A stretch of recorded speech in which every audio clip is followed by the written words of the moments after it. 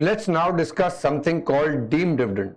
And maybe this is the first time i'm going to be discussing this for intermediate exam. वो भी इसलिए क्योंकि ICI ने इसके ऊपर RTP में क्वेश्चन दिया।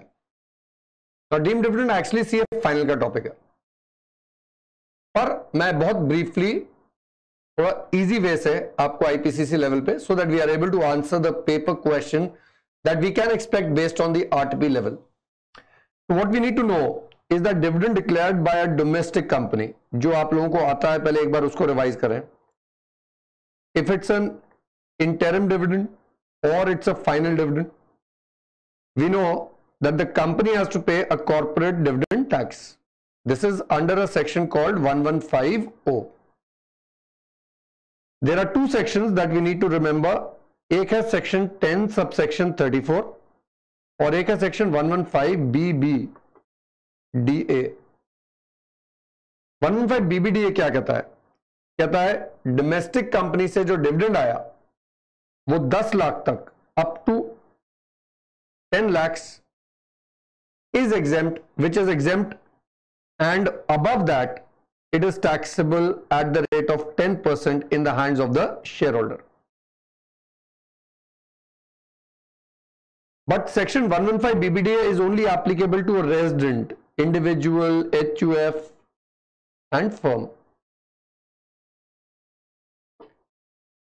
और 1034 कहता है कि if dividend is covered by 115O then it is exempt but 1034 में लिखा है other than 115 BBDA which means अगर डिविडेंड 115 बीबीडीए में आ गया तो वो सेक्शन 1034 में एग्जेंट नहीं होगा इसका मतलब ये हुआ because 115 B B D A applies only to a resident for a non resident shareholder जो भी डिविडेंड आ रहा है that is fully exempt that is fully exempt and for a resident shareholder it is exempt up to 10 lakhs and in excess of 10 lakhs it is taxable at the rate of 10 percent but corporate dividend tax तो सारे पे कटेगा चाहे वो 115 BBDA में आ रहा है या 1034 में आ रहा है CDT at the rate of 1150 is going to be payable by the company Now what certain company started doing was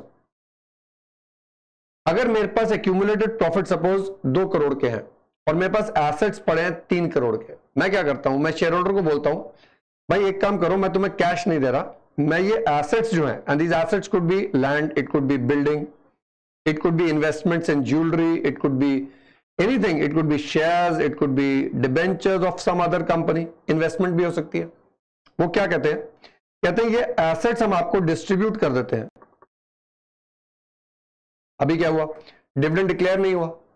अब कंपनी कहती है, क्योंकि हमने डिविडेंड डिक्लेयर नहीं करा, हम 115 में इसके ऊपर सीडीडी पे नहीं करेंगे। तो इनकम टैक्स कहती है, ऐसे कैसे? उन्होंने एक क्लॉज डाला डीम्ड डिविडेंड डीम्ड का मतलब तुम्हें पता ही है, मान लो।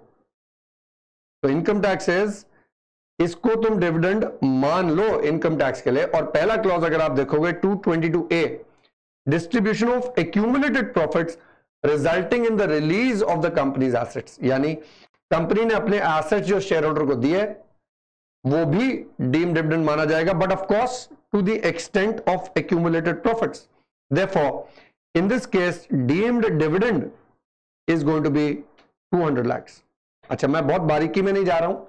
At intermediate level because this is the amendment for intermediate we going to do it at a very simple level यानी इस पे कॉर्पोरेट डिविडेंड टैक्स पे होगा। तो आपने क्या सीखा? 222 ए इज़ डीम्ड डिविडेंड जब एसेट्स डिस्ट्रीब्यूट हुए तो कंपनी ने कहा, ठीक है, कोई बात नहीं, हम एसेट्स नहीं देते। हम क्या करते हैं? आज की डेट में एक डिबेंचर इशू निकाल देते हैं।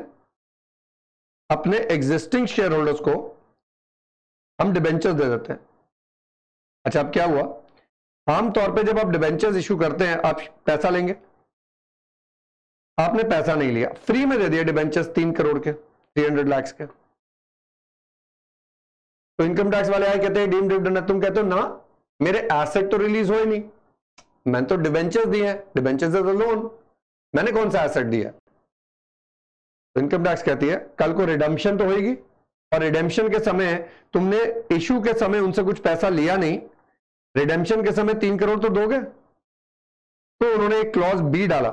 Distribution of accumulated profits in the form of debentures और डिबेंचर स्टॉक यहाँ एसेट रिलीज़ नहीं है, पर अगर आपने डिबेंचर्स इशू कर दिए, बिना पैसा लिए then of course to the extent of accumulated profits because listen dividend of course is distribution of accumulated profits और अगर प्रॉफिट ही नहीं है तो डिविडेंड कैसे होगा? तो उसने बोला, तीन करोड़ के गए, हम डिविडेंड सिर्फ़ दो करोड़ को मानेंगे और उस पर कॉर्पोरेट डिविडेंड टैक्स तो लगेगा।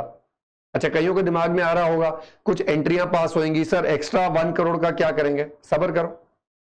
ये फाइनल लेवल पे पूरा डिटेल में करेंगे। एक एक क्लॉज पे आधा आधा घंटा लगाएँगे, पूरा डिटेल में क्वेश्चन करेंगे, पर अभी के लिए let's keep it here then sometimes what happens is when the company is being liquidated then company अपने एसेट्स डिस्ट्रीब्यूट कर देती है टू जस्ट शेयर होल्डर्स उस केस में भी at the time of liquidation जो भी डिस्ट्रीब्यूशन हुआ to the extent of accumulated profits is again deem dividend which means अगर ये कंपनी लिक्विडेशन में है और तीन करोड़ के एसेट्स पड़े जो डिस्ट्रीब्यूट हो गए देन अगेन दो crore will be treated as deem dividend similarly अगर कंपनी रिडक्शन कर रही है अपना capital company is reducing its capital company has extra money जैसे ओके हमारा कैपिटल हमें वापस कर दो, हम तुम्हें पैसा दे रहे हैं। उस केस में भी जितना डिस्ट्रीब्यूशन हुआ to the extent of accumulated profits again is deemed dividend so if three crore worth of assets are distributed at the time of reduction again बेटा दो करोड़ इज़ डीम डिविडेंड और उस पर सीडीटी लगेगा। Now the treatment of these four dividend is exactly the same जो हमने यहाँ करा। तो we say two subsection 22 clause A से लेके क्लॉज डी तक के जितने हैं, उन पे कॉर्पोरेट डिविडेंड टैक्स भी लगेगा। The treatment in the hands of the shareholder remains exactly the same there is no difference एक बड़ा इंटरेस्टिंग केस आया। अभी होता क्या है? If we have a closely held company now understand closely held का क्या मतलब है? यानी शेयर होल्डर्स बहुत सारे नहीं है क्लोजली हेल्ड है पब्लिक इश्यू नहीं आया। Generally we say private limited companies are always closely held तो ऐसा करते हैं प्राइवेट लिमिटेड कंपनी का एग्जांपल लेते हैं। है तो कंपनी अगर एक private limited company dividend declare करती है सो प्लीज़ अंडरस्टैंड बेटा 1150 ओ तब भी लगता है सेम लगता है whether it's a private limited company और a public limited company dividend के provisions are exactly the same पता था आपको? तो कंपनी अगर प्राइवेट है या पब्लिक है डिविडेंड देगी सीडीटी लगेगा बट प्राइवेट लिमिटेड कंपनीज़ क्या करती हैं? अब जैसे मेरे को याद है you know when I was growing up my dad had a private limited company जिसमें मैं भी डायरेक्टर था।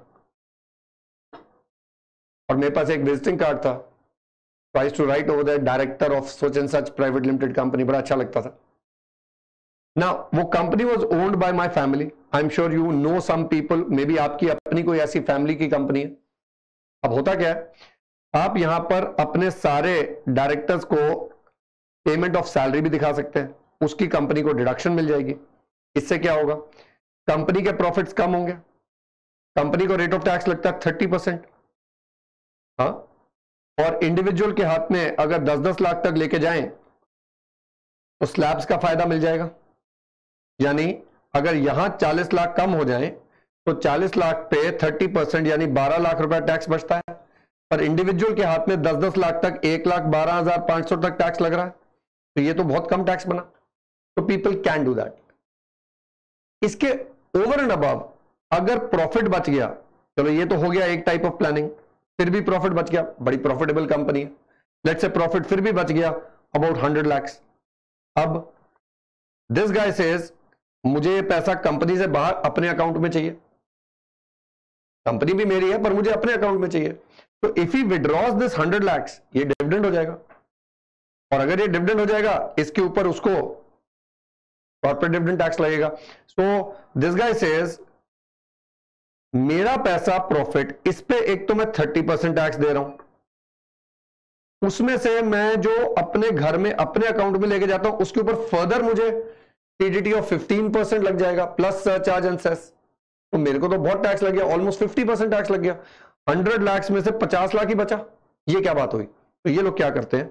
30 परसेंट टैक्स तो चलो लगेगा, वो तो टोटल इनकम पे लग रहा है। इसने कहा, मैंने अपने आप को लोन दे दिया। अच्छा लोन की खास बात है बेटा। Loan is something there is an agreement between the company and this person and we know these are separate person ये कहता मैं लोन वापस करूँगा। पर कहता इस लोन पे क्योंकि मैं कंपनी का मैनेजिंग डायरेक्टर हूँ, मैं ब्याज नहीं दूँगा। तो एओ पूछता है, फिर ये काय का लोन है? तुम सुन रहे हो? वो पूछता है, ये काय का लोन है?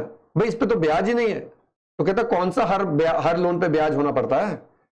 If a father gives a loan to a son it need not carry interest but it is still loan बेटे को वापस तो करना है। उसी तरीके से कंपनी ने मुझे लोन दिया, मैंने वापस तो करना है, पर ब्याज नहीं है तो क्या हुआ? अब क्या हुआ? लोन कब वापस होगा? कहता कर देंगे यार। कंपनी और मेरे बीच में एग्रीमेंट है, सात आठ साल में कर देंगे। Can the AO get up से ये क्या बात हुई? तूने तो डिविडेंड को अलग तरीके से दिखा दिया। तो एओ ने तो बोला ही होगा। पर एओ के बोलने से क्या होता है, जब तक एक्ट में कोई सेक्शन नहीं है एंड सैडली यहीं पर लॉ ने हमारे लिए दिया सेक्शन 222 ई और इसको बड़े ध्यान से पढ़िएगा, इसी पे आरटीपी में क्वेश्चन है। Any payment by a company not being a company in which public are substantial interested यानी हम बात कर रहे हैं क्लोजली हेल्ड कंपनी की। Of any sum whether as representing a part of the assets of the company or otherwise by way of advance or loan by way of advance or loan दो word use करें loan दिया या advance दिया। To a shareholder being a person who is the beneficial owner of shares not being share entitle to fix rate of dividend यानी preference share की बात नहीं कर रहा है voting right shares equity shares की बात कर रहा है। तो क्या बोल रहा है? दोबारा पढ़ते हैं। Who is a beneficial owner registered हो या ना हो beneficial owner not being share entitle to fix rate of dividend whether with or without a right to participate in profits, holding not less than 10% of the voting power. Okay?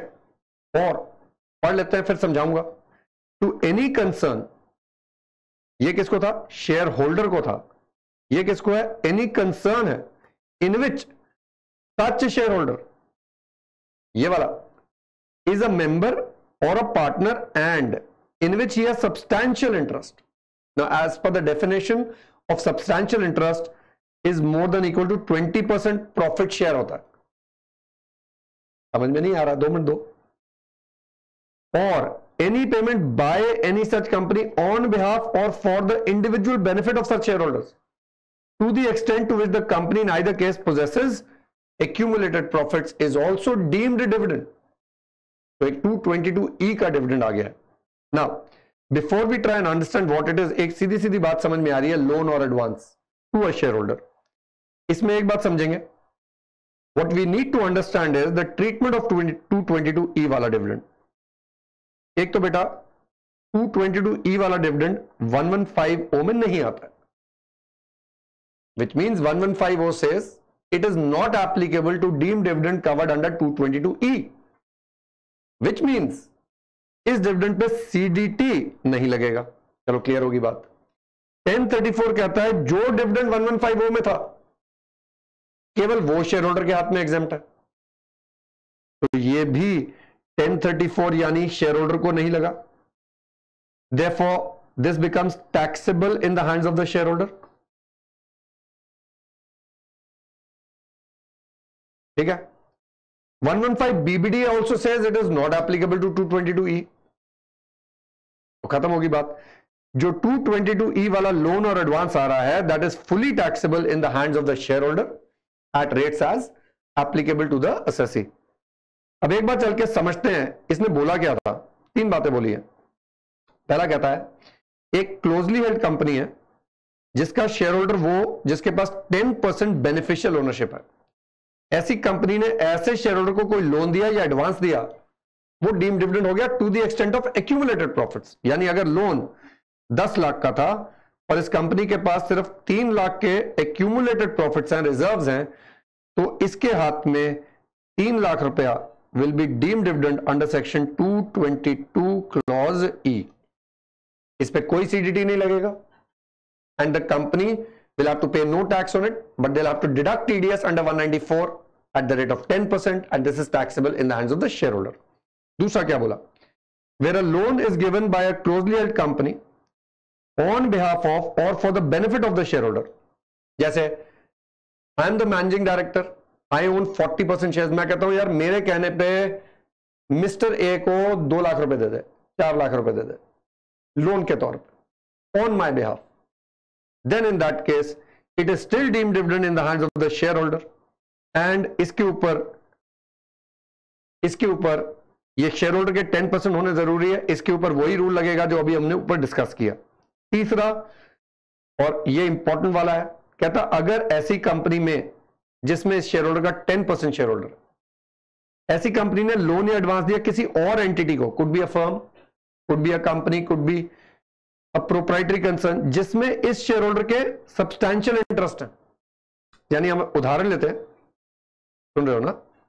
Mrs X के पास A B C private limited में 20 percent हिस्सा है और x private limited में 10 percent हिस्सा है। X private limited ने ABC private limited को 30 लाख का लोन दिया। इनका जो रिज़र्व था यहाँ पर 12 लाख था, जिस दिन लोन दिया। अब क्या होगा? This 30 lakh loan subject to accumulated profits that means 12 lakhs will be treated as deem dividend in the hands of this entity यानी इसके ऊपर 222 ई e के प्रोविजंस लग जाएँगे। I hope this is clear to you so तीन बातें होगी। Then he says लेकिन अगर जो लोन दिया is in the ordinary course of business of money lending यानी जो प्राइवेट लिमिटेड कंपनी है वो मनी लेंडिंग बिज़नेस में और नॉर्मल कोर्स में उसने लोन दिया है, फिर ये क्लॉज नहीं लगेगा। Because then of course it is the money lending business second ये वाला पार्ट फाइनल लेवल पे करेंगे। Now what we need to remember and understand is that there is a clarification जो आरटीपी में दिया हुआ है, वो करा रहा हूँ। कहता है clarification regarding trade advance not to be treated as deem dividend trade advance अच्छा एडवांस तो बोला ट्रेड एडवांस की बात कर रहा है।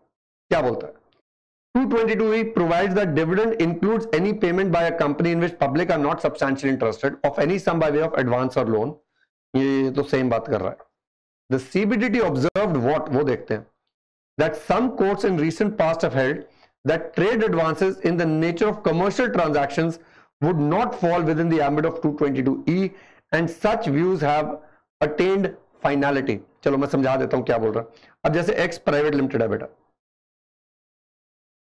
इनका जो डायरेक्टर है लेट से मिस्टर ए, का एक प्रोप्राइटरी बिज़नेस भी है। ये बिज़नेस इसको रॉ मटेरियल सप्लाई करता है। मिस्टर ए का इसमें 20 परसेंट का हिस्सा है, यानी 10 परसेंट से ज़्यादा है। मिस्टर ए कहता है, मेरे को रॉ मटेरियल सप्लाई करने के लिए एडवांस चाहिए। तो एक्स प्राइवेट लिमिटेड इसको 30 लाख का एडवांस दे देती है। Against supply of raw material ये हो गया ट्रेड एडवांस जो हमारा असेसिंग ऑफिसर है, उसका तो एक ही काम है। उसका एक काम यह है कि टैक्स लगाना। उसके दिमाग की बत्ती जलती है और वो क्या कहता है कि भाई, ये एडवांस हो गया to a substantial shareholder therefore ये तो आ जाएगा टू ट्वेंटी टू ई में। तो मिस्टर ए कहता, भाई, मुझे बता, मैं तो काम कर रहा हूँ उसके साथ कंपनी के साथ। ठीक है, मैं उस कंपनी का डायरेक्टर हूँ, पर मेरा अपना बिज़नेस भी है। अब मैं रॉ मटेरियल सप्लाई करूँगा तो एडवांस तो लूँगा ना, अब इसके ऊपर टू ई लगा दोगे तो कैसे चलेगा? तो सीबीडीटी कह रही है in view of the above CBDT has vide this circular clarified that it is a settled position that trade advances which are in the nature of commercial transactions would not fall within the ambit of the word advance in 222e and therefore, the same would not be treated as deemed dividend. यानी simple English में ये deem dividend के दायरे में नहीं आ रहा है। अब एक क्वेश्चन जो दिया आरटीपी में let's go and have a look at it he says Mr Pranav has a 15 percent shareholding in TRP private limited engage in trading business of toys and also has a 50 percent share in Pranav and sons a partnership firm अच्छा ऐसे confusing हो जाता है। तो मैं बना रहा हूँ। T R P private limited एक मिस्टर प्रणव है और एक प्रणव एंड सन्स है एंड सन्स है okay now let's also write down Pranav का इसमें 15 परसेंट होल्डिंग है और प्रणव का इसमें 50 परसेंट शेयर है अभी क्या हुआ accumulated profits of TRP Limited is 30 lakhs. So इनका accumulated profit is equal to 30 lakhs. Pranav and Sons has taken a loan of 35 lakhs from TRP Limited. इन्होंने इससे 35 लाख का लोन लिया है examine whether the above loan can be treated as dividend as per the provisions of the income tax act right तो ये तो आ जाएगा बेटा क्योंकि ये जो शेयर होल्डर है इसका इस एंटिटी में 10 परसेंट से ऊपर का शेयर है दूसरी एंटिटी में 20 परसेंट से ज़्यादा का है तो इनके बीच में जो लोन जा रहा है that is going to be treated as deemed dividend पढ़ लेते हैं आंसर क्या दिया है He says 222E provides payment by a company, not being a company in which the public is substantially interested, gives any sum by way of loan or advance to a shareholder or to any concern is deemed as dividend to the extent the company possesses accumulated profits. Okay, अब ये देख लेते हैं accumulated profit 30 के थे loan 35 का है तो obviously 30 lakh will be deemed to be dividend. He says in the present case the loan given by TRP to Pranav would be deemed dividend since Pranav is a beneficial owner of 15% in TRP and also has substantial interest in Pranav and Sons. However, the amount of loan would be deemed dividend only to the extent TRP possesses accumulated profits. Therefore, out of 35 lakhs, only 30 lakhs will be deemed to be dividend. तो बेटा मेरे लिए inter level पे बस इतना ही इस lecture को एक बार फिर सुन लेना चाहे क्योंकि थोड़ा सा इंपॉर्टेंट हो सकता है शायद पेपर में क्वेश्चन आ सके।